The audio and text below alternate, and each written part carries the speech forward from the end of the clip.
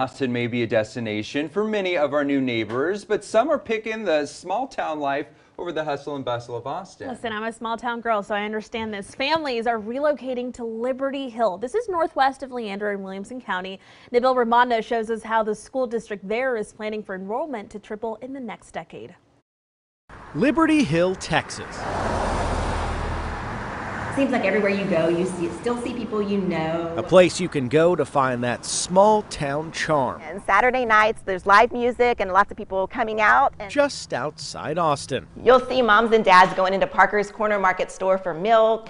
You'll drive down Main Street and hear live music coming from all the mom and pop restaurants. And that's one reason why Katie Amsler now calls it home. My family moved here in 2016 from Leander. Liberty Hill has been growing, like many towns and cities in central Texas. Just ask Liberty Hill ISD Superintendent Steve Snell about student enrollment. I've only been here three years, and we've grown from a little over 4,000 to, to just over 7,000. Last February, Liberty Hill ISD Board of Trustees voted unanimously to call for a $491 million bond election.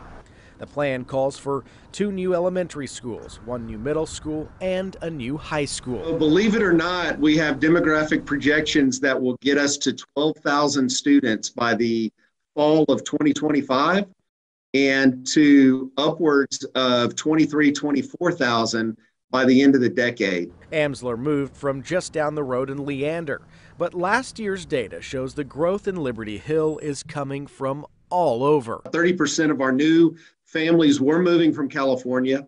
30% were moving from the other uh, urban areas in Texas, Houston, Dallas, San Antonio. People from other states and Austin are also moving to the area, and there's no signs of the growth slowing. The growth is definitely bittersweet. Um, growth brings a lot of challenges, but it also brings a lot of opportunities. Opportunities Snell says the district is ready for. Look, I mean, the future is bright in Liberty Hill, so we have a lot of great things going on. Liberty Hill isn't the only town outside of Austin seeing that growth. Hutto has also seen a population boom. In recent months, they have opened a new ninth grade center and plan to add another high school in the coming years. We have a lot of families who are finding out that we have great school district. It's just a great community. So we have people who are just coming here in droves. And we're excited about the growth and we're excited that Hutto has such a great name for itself. It's just a great place to be.